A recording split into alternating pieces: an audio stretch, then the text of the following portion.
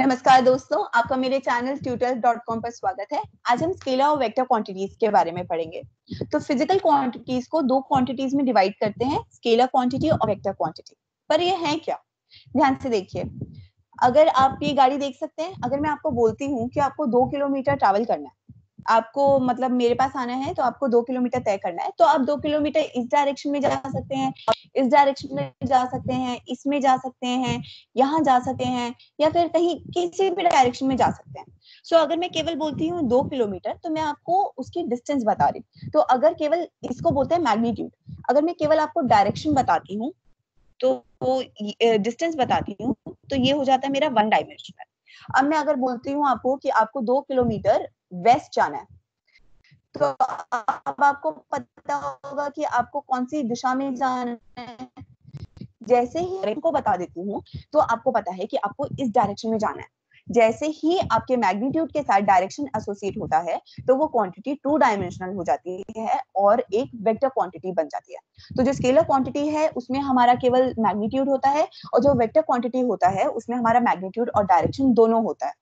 जैसे कि हम जो डिस्टेंस है, उसमें हम केवल मैग्नीट्यूड बताते हैं और हमारा जो डिस्प्लेसमेंट है, उसमें हम मैग्नीट्यूड डायरेक्शन दोनों बताते हैं।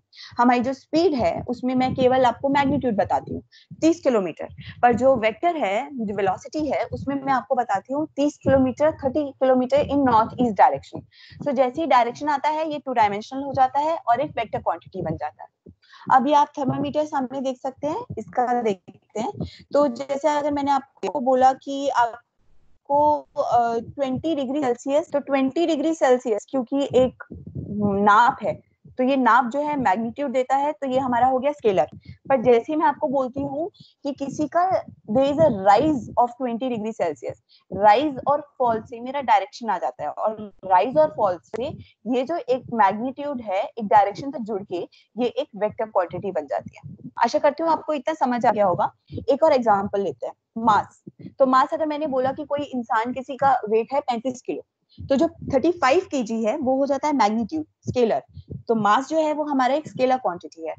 बट वेट अगर मैं बोलती हूँ वेट तो वेट होता है mass into G G is acceleration due to gravity जिसकी डायरेक्शन होती है इन द डाउनवर्ड डायरेक्शन जो कि हमारे ग्रेविटेशनल फोर्स से रिलेटेड है। तो जैसे ही मैं इससे डायरेक्शन एसोसिएट कर देती हूँ, मेरा जो वेट होता है वो एक वेक्टर क्वांटिटी बन जाता है।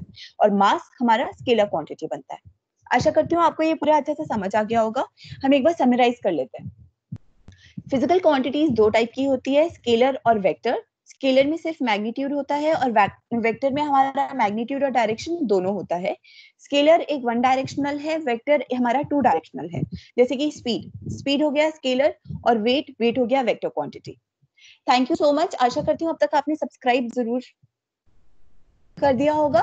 एंड इन केस अगर आपने नहीं किया है तो प्लीज़ गो एंड सब्सक्राइब अगर आपको और कंटेंट चाहिए तो आप हमारे tutor dot com W W W dot tutor dot com पर जा सकते हैं और वहाँ पे आपको और material related to science and maths मिल जाएगा।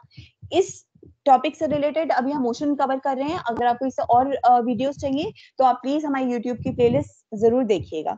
डू लाइक अगर आपको ये वीडियो पसंद आई है। Thank you so much have a great time stay safe stay healthy bye bye